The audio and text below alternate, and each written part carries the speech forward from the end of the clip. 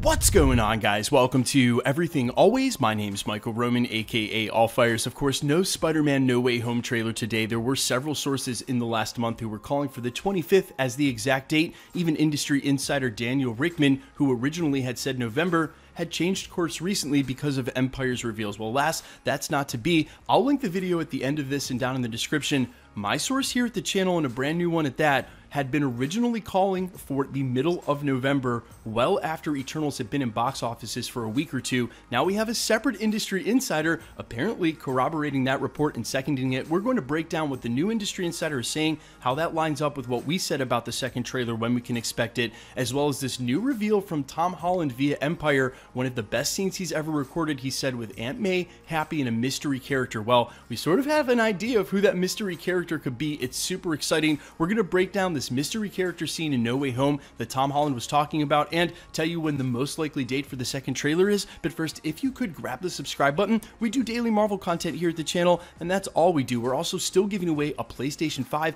at 900,000 subscribers, which we will easily hit by the end of November. So if you want to be entered to win, all you have to do, hit that subscribe button, leave a comment down below. That'll automatically enter you to win all the giveaways. And if you want, stick around to the end of the video. We'll get into all the giveaway stuff again there. Okay, so let's knock this trailer nonsense out very fast. I've been telling you guys here at the channel for almost a month, based on one of my sources here at the channel in a video I'll link at the end of this or down below, that the second Spider-Man No Way Home trailer won't be coming till the middle of November. Now, I don't understand why some of these social media accounts that have been around for less than 90 days name stuff like the Spider Man No Way Home news update channel can tweet out a date and everybody will latch onto it as if it's prophecy. I told you guys it wouldn't be the middle of November literally at the beginning of this month. We are still on pace for that, according to my source. Now, a separate source in Sean O'Connell over from Cinema Blend is saying the same thing about the trailer that it's not even done yet and probably will not be attached to Eternals. More likely the case, it would be Ghostbusters Aftermath, which happens to be November 18th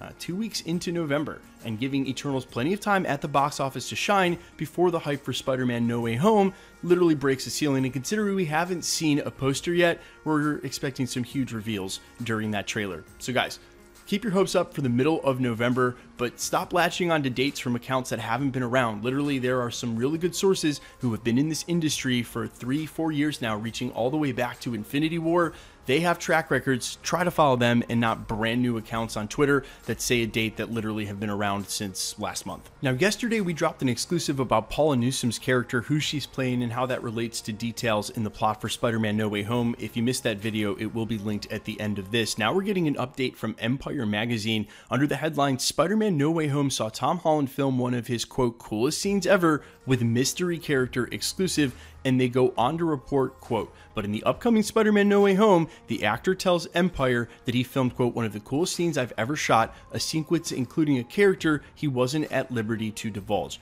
They go on to report what he could say in the scene is that it features Peter Parker, Marisa Tomei's Aunt May, and Jon Favreau's Happy Hogan, alongside a mystery fourth character. Quote, it's four people sitting at a table having a conversation about what it's like to be a superhero, and it was amazing, Holland tells Empire. The other day we watched the scene, my brother and I, and our jaws were on the floor cue all the speculation about who that fourth character belongs to, and they go on to talk about it. But obviously, and what would be the biggest reveal is if it was Andrew Garfield or Tobey Maguire's Peter Parker, when the context of the conversation seems to be what it's like to be a superhero, knowing that Aunt May and Jon Favreau are not superheroes, however, one degree of separation, right? Happy being separated by one degree, direct best friends with Tony Stark, Marisa Tomei's Aunt May being the aunt to Spider Man, right? So they're like the adjacent superhero sidekick that's not the actual sidekick like Robin, but more like a guy in the chair like Ned. Like they're there, they have seen everything firsthand, firsthand account, been there for all parts of it,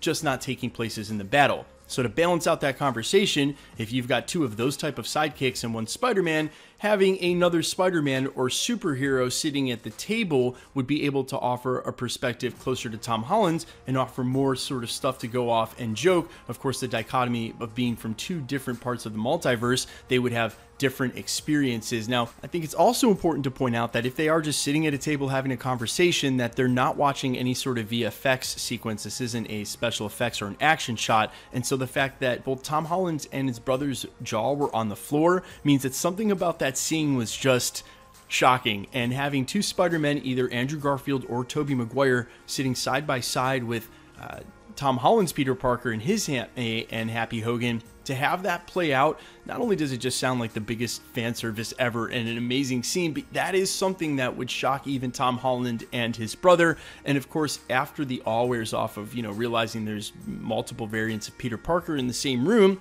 they would want to get to know each other and start seeing their similarities and their differences, which there are many. Um, and, you know, look, I think it's pretty obvious this is what this is. Maybe it's another huge Avenger cameo, but whomever is sitting in that room is definitely another superhero. I said to, to, balance out this sort of talk about what it means to be a superhero.